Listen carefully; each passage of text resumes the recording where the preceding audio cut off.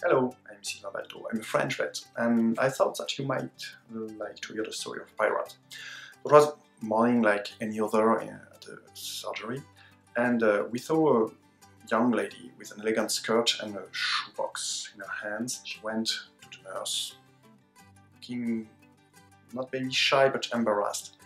Uh, hey, you know, I'm sorry, I've got an appointment. An appointment for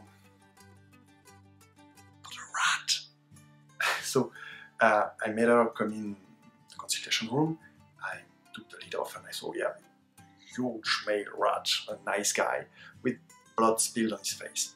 And the first thing she told to me that, uh, you know, that, that's not my rat. That's not even my son's rat or, or, or whatever. That's my neighbor's son's rat. He came to me this very morning crying for help uh, because uh, he found uh, his rat wounded when he told that to his father um, the guy said him, uh, you know, my son, best thing to do with a wounded rat is to let him go in the woods.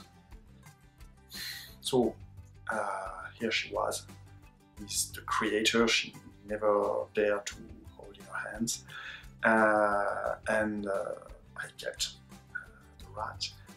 We took care of him, of course, uh, he had painkillers, antibiotics, and even bandage, uh, the patch on his eye, so then was called Pirate after that.